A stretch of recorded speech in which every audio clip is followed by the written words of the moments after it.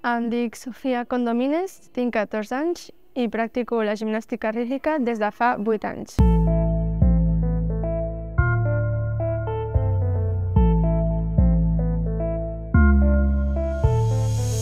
La Sofia Condomines és una gimnasta que té una discapacitat visual del 78% i que participa a la modalitat de gimnàstica rítmica d'aquí del CEP. Aquesta temporada el seu conjunt ha participat a la categoria cadet de nivell B el que implica l'ús d'un aparell de gimnàstica rítmica que són les masses. Tenint en compte eh, l'ús d'aquest implement aquesta temporada, doncs es va parlar amb l'entitat i es va decidir que s'havien de fer unes adaptacions pel que fa a la normativa tècnica. Algunes de les adaptacions que nosaltres, de fet, els hi hem passat el, el que necessitàvem, que ho hem acordat amb la Sofia i la seva família, eh, van ser, per exemple, doncs, fer els llançaments, els intercanvis entre 4 en comptes de 5, els llançaments que comportin que hagi de llançar molt amunt i que hagi de rebre ella mateixa els aparells de masses, que just són aparells que, amb els que pot prendre mal si li cauen fort a l'ull o a prop, eh, van passar l'adaptació de que no podia fer-los i d'aquesta manera el conjunt ha pogut sortir a competir en les mateixes condicions. La veritat és que ha estat un procés bastant fàcil i àgil amb tot. M'agrada molt competir i hem quedat en molt bon lloc, llavors estic molt contenta d'aquests moments. Quan arribem a la fila per competir, ens posen uns conos perquè jo pugui veure bé el límit de la pista, perquè si no, no el veig, i un cop ho han posat tot, entrem i fem el nostre ball. Els valors que destacaria de la Sofia i de les seves companyes definitivament són el companyerisme. Hola, jo em dic Aitana. Jo, Nelly. Jo em dic Anna.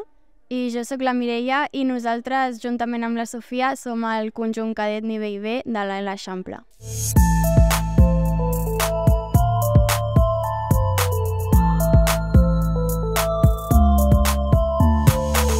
El primer que pensen és en el bé de totes, més aviat que el, el seu propi bé. La Sofia ens cau molt bé i estem molt contentes de que estigui al nostre grup i que se li dona molt bé la rítmica i aquest any s'ha adaptat molt bé amb l'aparell de masses. El que més m'agrada practicar la gimnàstica, la gimnàstica rítmica és practicar en grup, perquè així no et sents sol i tens apoyo de les teves companyes. Creiem que aporta molta personalitat al nostre equip, ja que en totes les competicions que hem fet no hem vist a ningú en aquests casos. Vam tenir l'oportunitat de, de fer-ho per separat, la Sofia i les seves altres quatre companyes, però elles mateixes i la Sofia van decidir que preferien fer-ho juntes perquè prefereixen ser un equip que no pas treure més nivell, prefereixen continuar juntes i treure l'equip endavant.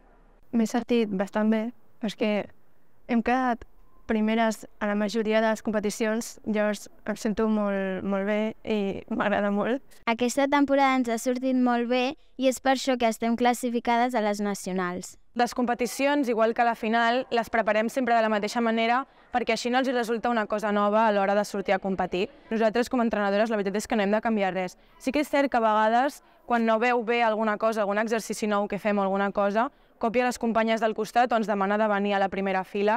Llavors, no acostumem a canviar, diguéssim, el ritme o l'organització dels entrenaments perquè ella sola es regula molt bé. Ha sigut una de les temporades més especials perquè també era el primer any que hem fet un aparell eh, que són les masses, i bueno, ha sigut nou i m'ha agradat molt.